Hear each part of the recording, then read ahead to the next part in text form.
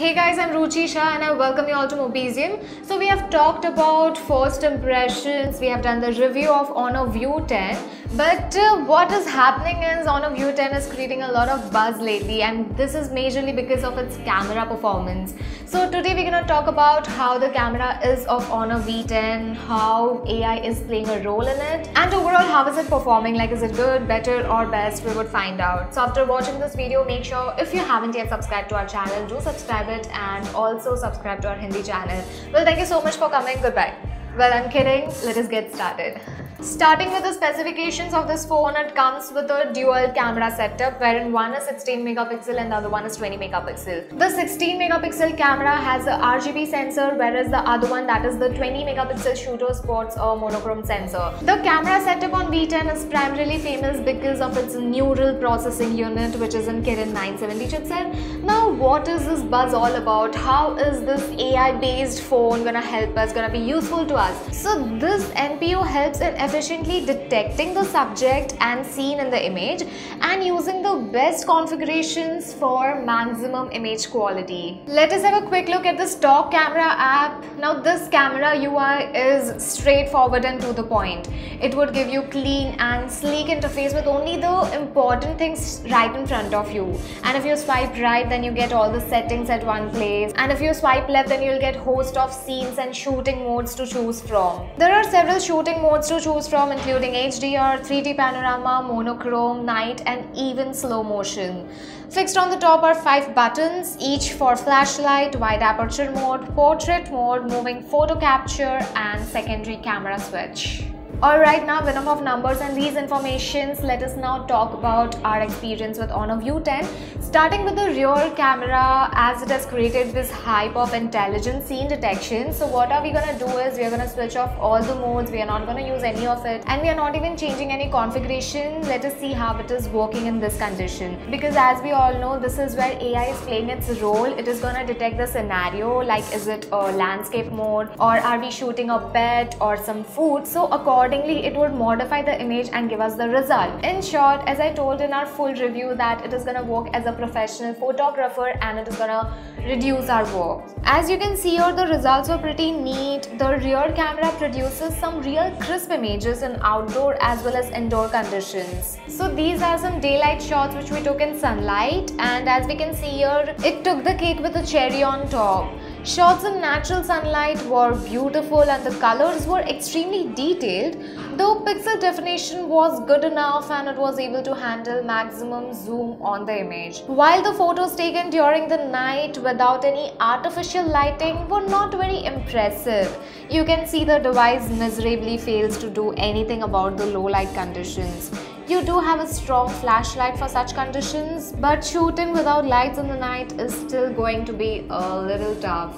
In artificial lighting conditions, the camera performance wasn't bad at all, Photos are good enough for viewing or social media usage but zoom into image and see that pixel definitions don't exist.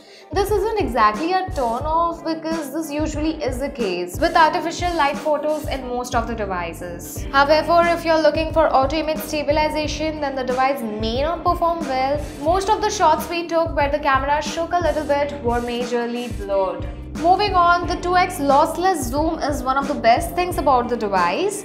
The image on the left and right were taken with and without the 2x lossless zoom respectively. You can clearly see that there is barely any effect of zoom on image quality and both images are equally clear. With the right one providing better detail in taking long distance shots. Without the lossless zoom also you can zoom up to 10 times with this device but your image quality will have to pay for the same. Finally talking about the portrait mode on the rear camera, it does quite an impressive job in blurring the background out. A lot of you might be interested in comparing the portrait mode of V10 with OnePlus 5. So if you're interested, do hit me up in the comment section. For all our selfie addicts there, here is our take on front camera. The photos clicked using the 13 megapixel front camera seemed top notch as well.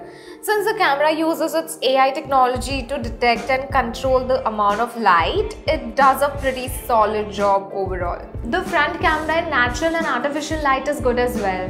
However, I had a fear that the camera may not be able to handle lights originating from behind the subject and that is exactly what happened. This image had a visible incident light on the top and the device was unable from suppressing it and affecting the image. Though I have to mention that overall it was a pretty solid performance from the front camera. Portrait mode on front camera seemed to be the biggest disappointment as it always failed to focus on the person's hair. We had a lot of trouble with this.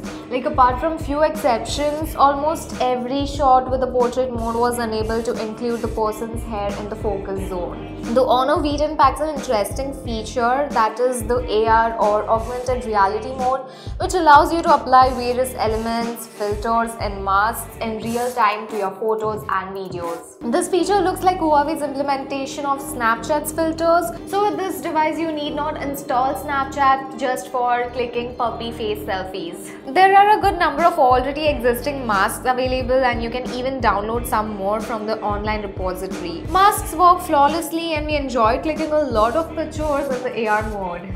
AR mode also has an option to change the background of the subject. This feature works neat but it isn't as polished as the other one. The backgrounds are pure, cartoonistic and fun to use However, you won't find perfection as many a times. The camera is unable to accurately finish the endpoints of the subject. But overall, this feature is great and fun to use. Here in this phone, we can record videos up to 4K using the phone's rear camera and 720p using the front camera. The video recording on this one is pretty standard and there's nothing noteworthy about the video quality but what we have noticed is that the videos have no stabilization. So you need to be extremely careful while recording with motion. To summarize it, rear camera performed well and it is on par with any other device in the segment. Whereas the front camera did disappoint us a bit in several segments like oh, it does not include a hair in the focus region during portrait mode and we sincerely hope that it will be fixed in the software update in the future. The overall camera experience with this device is extremely easy and intuitive like you need not drop a sweat to get a good image from this device because most of the times this phone with its AI capabilities would do everything for you.